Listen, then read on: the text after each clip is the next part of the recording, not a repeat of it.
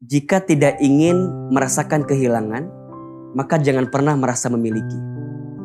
Karena di antara kata kunci kenapa kita ngerasa patah hati ketika ditinggalkan oleh orang yang kita cintai karena kita merasa memiliki dengan orang tersebut. Maka sakit hati itu wajar-wajar saja. Yang tidak boleh adalah berlebihan sakit hati. Sampai memendam sakit hati, kemudian jengkel berlebihan, marah berlebihan, sampai kemudian dia lupa sama Allah Subhanahu wa taala. Jadi gimana Ustadz Hilman? Ya jawabannya adalah kalau ada orang yang pernah hinggap di hati kita, kemudian dia pergi meninggalkan kita, langsung husnuzon.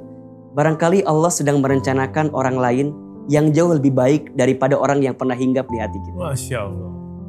Mau sampai kapan kita memendam namanya, menyebutkan orangnya, sedangkan kita tidak pernah berada dengan dirinya dan dirinya pun pergi dari kehidupan kita. Jadi benarlah uh, firman Allah di surat Ar-Ra'd ayat 28 ya. Ala bizikrillahi tatmainnul qulub. Ingatlah hatimu akan menjadi tenang dengan berzikir kepada Allah. Maka langkah pertama kalau kita sakit hati karena cinta ataupun karena yang lain lah ya. Ya jawabannya zikir gitu. Ingat sama Allah. Barangkali selama ini kita jauh dari Allah. Sehingga dengan sakit hati itu membuat kita ada Hmm. getaran energi memperbaiki diri dengan Allah. Hmm, iya. Mungkin selama ini fokus kita sama si doi terus, Iya.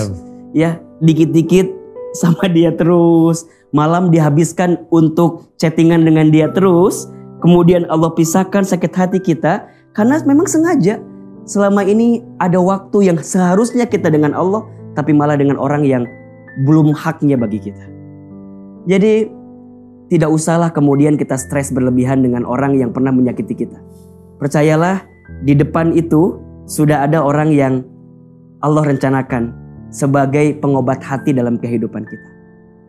Jangan terlalu sibuk bersandar kepada manusia. Karena manusia itu hakikatnya lemah. La haula wa la quwata illa billah. Hmm. Tapi bersandarlah kepada Allah. Hmm. Karena hanya Allah lah yang mampu menjadi sandaran terbaik dalam kehidupan kita. Hmm. Percayalah, kalau sudah tidak ada pundak manusia untuk bersandar, sudah saatnya sejadah kita menjadi tempat sujud kita yang terbaik. Kalau sudah tidak ada telinga manusia untuk mendengar curhatan kita, sudah saatnya telapak tangan menengadah kepada Allah, berdoa kepada Allah Subhanahu wa taala. Tidak ada yang tidak mungkin dengan doa dan yakinlah kalau Allah sudah mau kun fayakun, maka jadilah. Amin. Semoga yang sakit hati Allah obati hatinya dengan perasaan hati yang lebih lapang dari sebelumnya.